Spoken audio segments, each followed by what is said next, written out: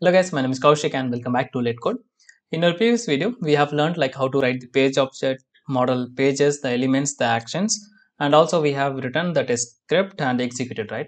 Um, so we are going to enhance the code little little bit. So in the pages we have written like uh, lots of function to even to get the elements also we have written functions we are going to do the exactly same we are going to just uh, re-enhance it little bit okay um, for example we are going to change the functions uh, to find the elements from the normal function or the normal methods to the arrow syntax. And also we are going to include the json file to uh, pass the test data to the test script. Okay? So it's going to be very quick i believe. Let's see. Okay? So first of all let's go to any of our page. I'm going to head out to the login page first. And here you can see that we have written like a public get the name and then we have written the element right? And this is fine nothing wrong about it. But if you see here we are writing lots of uh, lines right? So basically we are just going to reduce the line. Uh, performance performance wise there is no uh, major change is going to be there. Exactly it's going to be same. So this is also a function okay? So this is also a function. We are going to write the same function only but in a different way okay? For example let me comment it out. And here i'm going to say like uh, this one. So emailed text field and this is my element okay and then i'm going to say this is going to be of async and then i'm going to say um, the function this is my function and then uh, you don't have to use the arrow syntax I mean, you don't have to use the curly braces if you're going to do the return here. Okay, so let me copy and paste over here. Okay, and here this guy is going to be await. Okay, so I'm sorry, this should not be here. Yeah, so what we did here is very simple. Uh, we have used like this dot page dollar and the locator. Okay, then of course promise based, so we have to await. Since we are using the await, uh, here we have to make this as async. Okay. And here we are using this uh, method name. Okay. This is like your named method name in javascript concept. We are using the same in typescript as well. Okay. So instead of writing in like this uh, three lines we can just write it in one line. That is the only difference. No major difference in terms of uh, code optimistic or code performance enhancement okay? Um, so for this our test script for this example we have like we have written like few methods only for the locator. But assume in real-time applications when we have to fill like uh, 20 or 30 uh, fields or buttons or maybe anything then of course we don't have to write kind of this functions which will look really big in the file okay? So instead of that we can just write like this in a single line so that will help us a lot okay? Um, let me just show you one more time. Uh, so here first we have to remove the get function I mean sorry the get and we have to return the public. And then what we are going to do we are going to uh, make this like this okay? So this is the actual syntax here okay? And then this guy curly braces you can have uh, still you can have like this is my arrow syntax and you can also have the curly braces uh, for example let's say that you are going to do some logging here i mean console.log then you are writing two lines right? So in that case of course you can use the curly braces. But if it's just going to be one line and that line is going to return you something probably you don't need the return keyword there. And instead of this curly braces we can just uh, call that line directly. Okay so that is the benefit of this arrow syntax okay so that's it. Very very easy and simple. Okay so we remove the uh, access modifier we remove the get we remove the curly braces we re remove the return keyword. Instead of that we just use this arrow function. Okay and of course this is await. And here since we are using this async so if i give like control dot it will ask me to add the async modifier. So that is what we have done here. Okay so very simple and easy to learn. Okay now here of course it's going to throw us um, error because this is kind of like calling the property but now we have to call the functions right? So since we have used the get it is going to act like a property but now we have removed the get keyword. So of course it's a function. So you have to use the brackets okay? So similarly i'm going to change here as well okay? Uh, and that's it okay? Now let's go to our test script. Uh, of course you can change if you want for all the pages but i'm not going to touch that uh, instead of that here all here i'm going to touch okay? I'm just going to show you one more example. I'm going to remove this keywords. And here it's going to be async. And then i'm going to return this. So return keyword is not needed. And i'm going to say await. And lastly I don't want the curly braces as well okay? So semicolon is not mandatory but you can write it okay so that's it. We have done pretty much with this guy. And so yeah.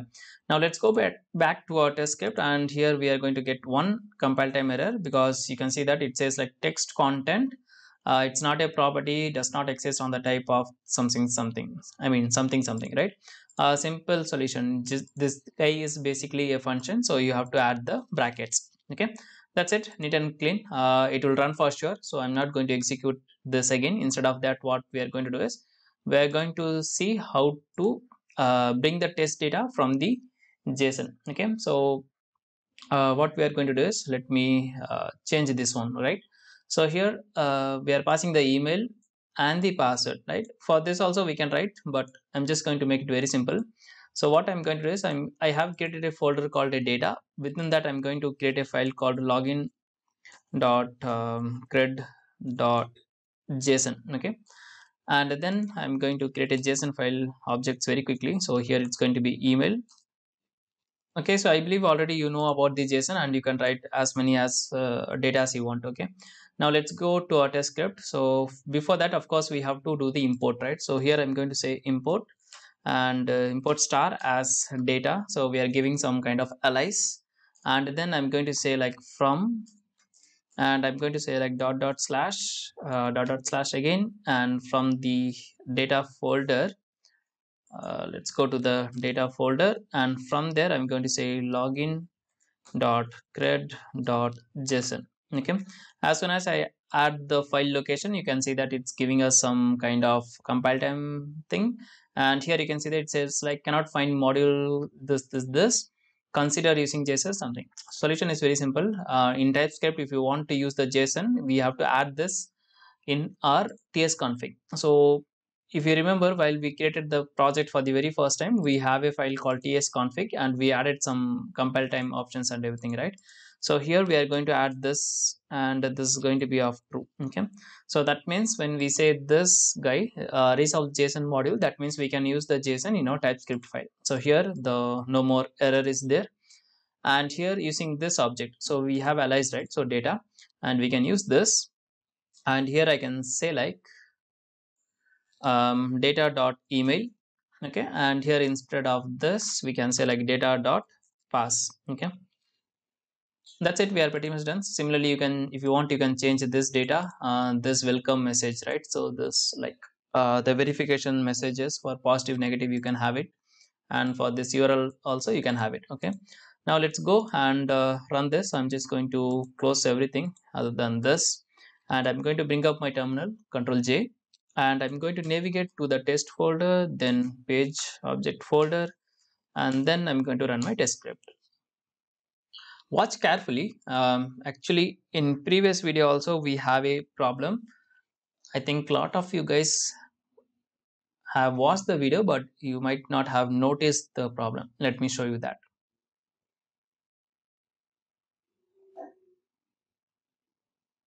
Watch carefully now. So it's going to the home page and it's go uh, going to the login with the koushik one at the rate gmail.com right?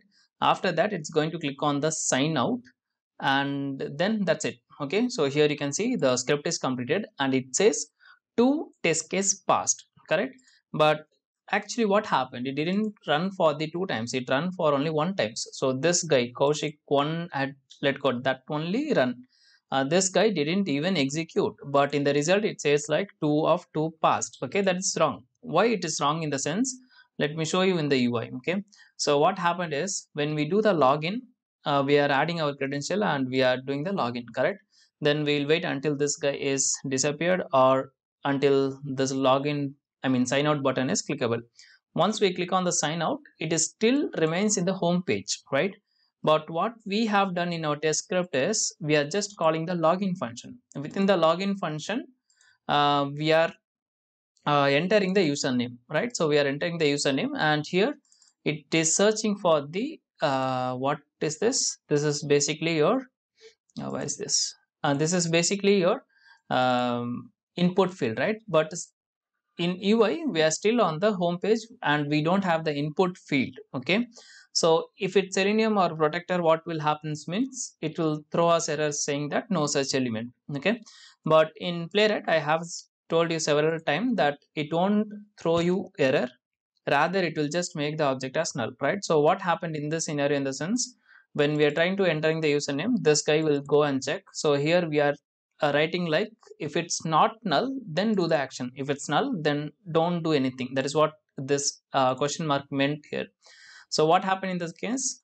Uh, there is a null. So it jest failed but it is not reflected to the just just is different playwright is different correct? We have combined to execute but whenever there is a failure we have to notify to the jest so jest will know that okay hey there is a failure i will mark that test case as failure.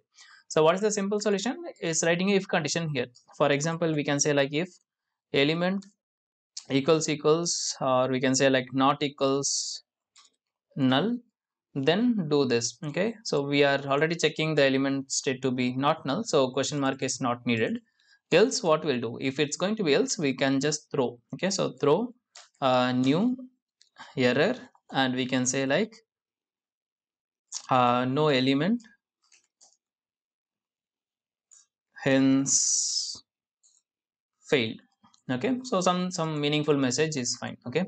Now let's go back and run the same test and let's see if it's going to be failed this time okay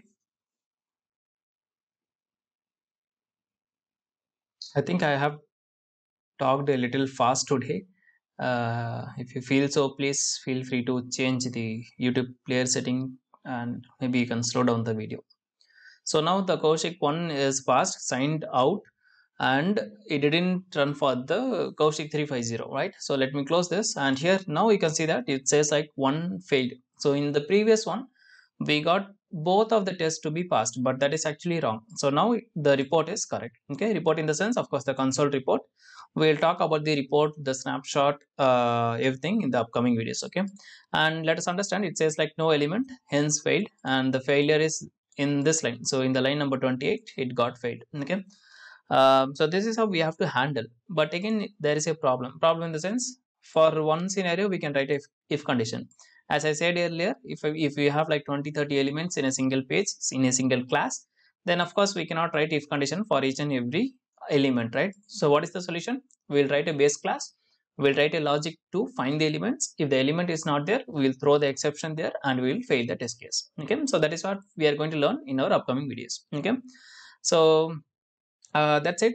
Uh, i believe you understood and this is very easy concept so i'm not going to give you a recap again uh, yeah that's it. Okay so uh, we have so many learnings in the upcoming videos. Other than just we are also going to uh, learn the uh, folio from uh, from microsoft okay?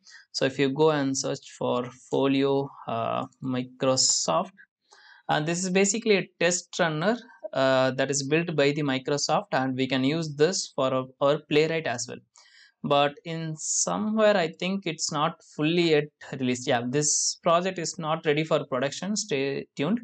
But i have tried few things in this and really really easy to write our test script. Um, so we'll learn the jest concept a little more like the report execution report integration and everything.